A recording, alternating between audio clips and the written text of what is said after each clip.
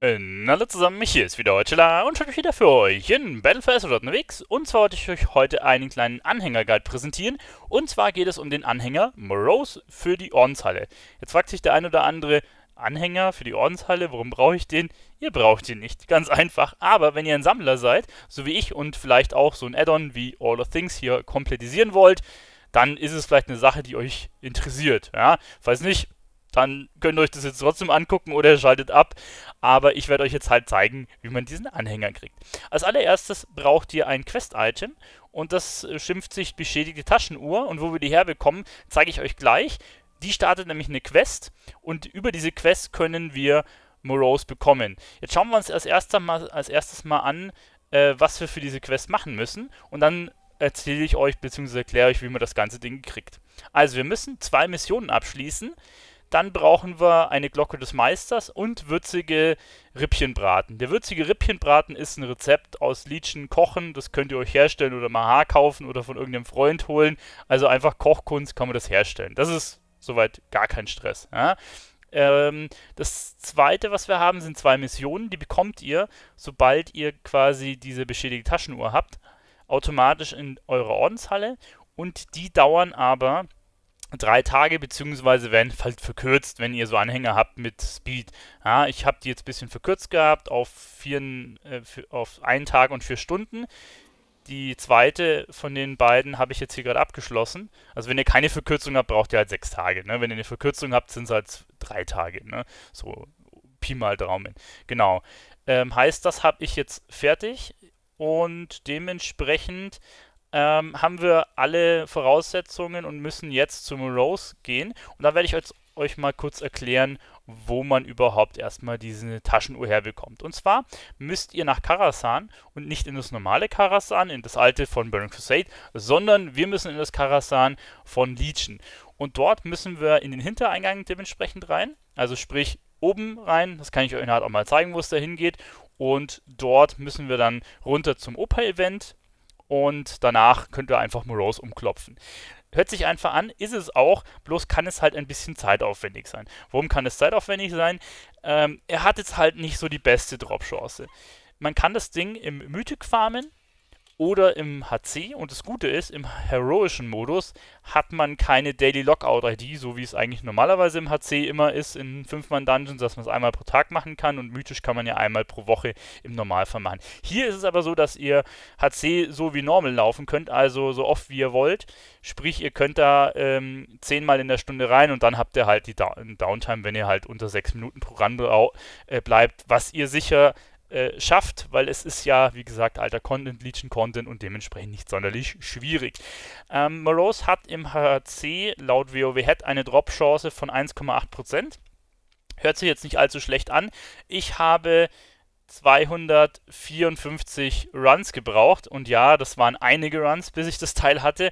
Und ja, sobald ihr das Ding habt, könnt ihr halt quasi oder bekommt ihr die Quest, die ich euch jetzt vorhin schon gezeigt habe, wo wir einmal ähm, ja, ein, eine Kochgeschichte brauchen, zwei Missionen über die Ordenshalle und dementsprechend ein letztes, was wir noch brauchen, ähm, ist, äh, was war es hier, diese Glocke des Meisters und die bekommt er auch aus der Instanz. Und zwar die Glocke des Meisters bekommt er von Medivh Schemen. Also sprich, äh, wenn ihr einmal die Quest bekommen habt, dann macht nicht den Fehler, den ich gemacht habe, lauft raus und macht die Mission und merkt dann, ah, kacke, ich muss Medivh Schemen noch umhauen, denn bei Moros liegt ein Schlüssel und nur mit diesem Schlüssel kann man quasi dann oben eine Tür aufmachen und er kann oben weiter beim Kurator und dementsprechend dann auch ähm, zu Medivh Schemen gehen. Ne? Also sprich, nachdem man Morose gekillt hat, kann man zum Kurator und dann Medivh Schemen. Und diese Glocke droppt übrigens zu 100%. Ich hatte schon Angst, dass die dann eine beschissene Drop-Chance hat.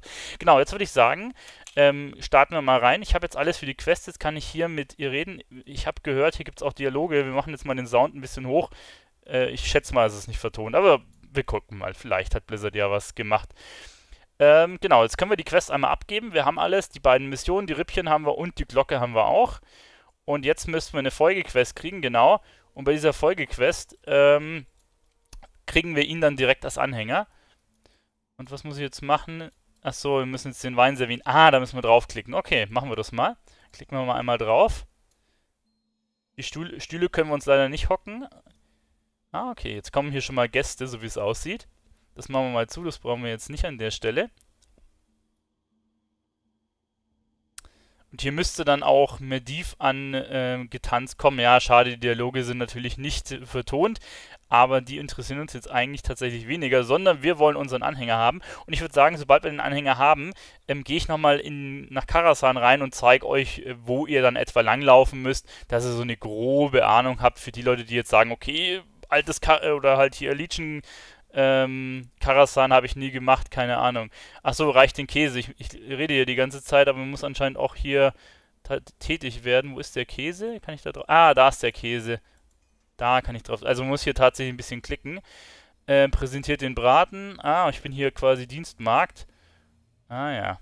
Dann kommen die verschiedenen äh, Gäste, wenn man hier die Sachen reicht. Okay, also der Käse scheint anscheinend schon gut anzukommen. Und jetzt ist es so, dass er hier einige Dialoge hat. Oh, ihr habt geläutet. Das ist sogar vertont. Okay, also ich konnte ihn eben anquatschen. Nein, ich bin besiegt, ihr seid frei. Ah ja, okay, also hier gibt es einige Dialoge, die werden wir uns jetzt aber nicht alle im Einzelnen durchgucken, sondern wir wollen einmal unseren Anhänger haben.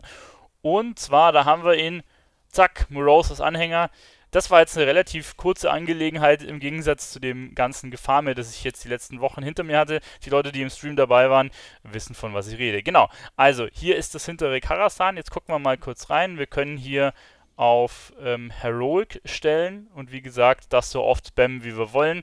Mythic äh, müsste trotzdem nur einmal pro Woche sein oder einmal täglich, da bin ich mir jetzt gar nicht sicher. Auf jeden Fall, ihr könnt es immer HC machen, ja. Wenn ihr, wenn ihr jetzt die Glocke farmen wollt, dann lauft ihr quasi hier lang ähm, dann geht es hier rum. Wir werden jetzt nicht den kompletten Run machen, weil hier unten ähm, ist man immer ein bisschen blockiert. Aber ich will euch jetzt zumindest mal zeigen, wo ihr grob langlaufen müsst. Und zwar laufen wir dann hier rechts rum und dann ähm, geht es da hinten runter. Seht ihr, da ist so eine kleine Treppe.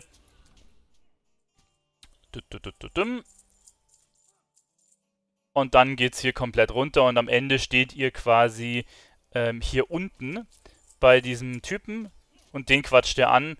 Und wenn man den anquatscht, geht das Event los. Es ist übrigens so, dass es, ich glaube, drei oder vier verschiedene Events gibt. Ich muss jetzt mal gucken, wie viele sind es? Ah, drei Stück sind es. Ah ja, genau. Und ich würde euch empfehlen, das hier mal auszuchecken. Also eine Woche lang sind die Events immer gleich. Ne? Also wenn ich jetzt hier anquatsche, es kommt immer das gleiche Event, bis die nächste ID ist. Also am Mittwoch kommt dann wieder ein anderes Event. Und ich kann euch nur empfehlen, achso, jetzt machen wir hier den er labert hier auch mal so ein bisschen. Ähm, ich kann euch nur empfehlen, das Ganze zu farmen, weil ihr hier doch öfter rein müsst, wenn ähm, dieses Wicked-Event ist. Da kommen nämlich zwei Hexen, die könnt ihr einfach one-shotten und kommt weiter. Ne? Das Gelaber dauert hier schon relativ lang. Ähm, die anderen beiden Events, diese Murlocs, die verbacken ganz gern, wenn ihr zu viel Schaden macht und ich mit meiner Zwielichtverwüstung one-shotte gern mal diese Viecher, dann verbacken sie und ihr könnt nichts mehr machen. Und ähm, hier diese dieses komische Schöne und der Biest, da musst du so kleine Viecher umhauen, die alle ein Immunschild haben, also ich musste alle mal Single-Target einzeln umhauen, das dauert auch länger. Deswegen, wenn ihr das effektiv farmen wollt, macht das Event hier, wenn Wicked am Start ist, dann ist es wesentlich einfacher, meiner, meiner Meinung nach. Die anderen sind, sind ätzender, was einfach länger dauert. Jetzt mag der eine oder andere sagen, ja, einmal hier das Ding machen, ist easy. Ja, aber wenn ihr das 20, 30, 40 oder wie ich 245 Mal macht, dann macht es tatsächlich einen Unterschied, ob das Event halt äh, ab und an verbuggt oder halt nicht. Ne? Dementsprechend macht das schon Sinn. Äh, wir können jetzt auch kurz noch zum Morose laufen, also beziehungsweise ich kann es euch zeigen. Äh, wichtig ist dann, ihr lauft dann hier unten durch, kommt hier unten dann raus und hier rüber könnt ihr dann einfach zum Morose. Also schalten wir einfach jetzt hier mal um. Hier haben wir Morose unten, den müsst ihr umklopfen und dann kriegt ihr das Ding.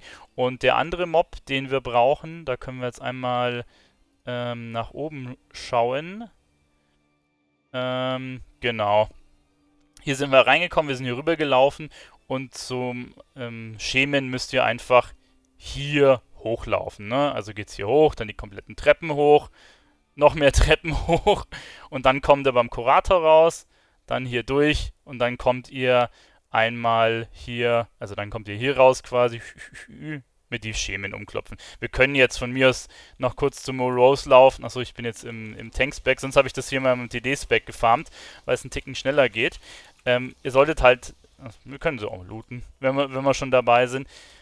Ähm, was ihr halt machen solltet, wenn ihr mal die Quest bekommen habt, ne, dann bei Maldiv auch den Schlüssel aufsammeln, sonst kommt ihr halt nicht nach oben. Jetzt für die Leute, die sagen, okay, hier war ich wirklich nie drin, ja, war damals auch eine coole Instanz, gab es dann auch als Mythic Plus, also, ähm, ja, das war quasi der Prototyp zu Mechagon, was ja auch eine, ich weiß nicht, wie jetzt Blizzard genannt, Mega Dungeon? Ich bin mir jetzt gar nicht ganz, ganz hundertprozentig sicher. Auf jeden Fall irgendwie so in der, in der Art. Mittlerweile ist es halt aufgeteilt, oder war es dann aufgeteilt in Mythic äh, Plus in zwei Instanzen, so wie auch Mechagon, ne? Also hier müssen wir durch und dann können wir hier zu Morose runterspringen und der Kollege könnte uns dann das Item droppen. Wie gesagt, äh, droppt halt ziemlich selten. Und hier den Schlüssel, den dann aufnehmen, dass ihr oben, wo ich euch gerade gezeigt habe, ähm, auch die Tür öffnen könnt. Gut, das war es eigentlich soweit vom Video. Mehr gibt es dazu nicht zu sagen. Ist ein lustiger kleiner Anhänger, den müsste ich jetzt hier in der, Moment, hier kann man umschalten, Ordenshalle, müsste ich ihn jetzt mit drin haben. Hier ist er. Der war anscheinend früher auch relativ stark, weil er mehr Fähigkeiten als die normalen Anhänger hat. Ähm, jetzt brauchen tut man nicht wirklich, wie gesagt, weil ähm, na, ist halt alter Content, aber zumindest fürs Sammler ist es vielleicht äh, für den einen oder anderen eine positive Geschichte, den mit einzuheimen. Gut, dann drücke ich euch die Daumen, falls ihr das farmen wollt, dass ihr mehr äh, Drop-Luck als ich habt. Schreibt mir gerne in die Kommentare, wenn ihr mich ärgern wollt, nach wie viel Tries ihr das Ding bekommen habt. Und dann sehen wir uns gerne beim nächsten Video wieder. Euer Chilla, bis zum nächsten Mal. Äh, ciao.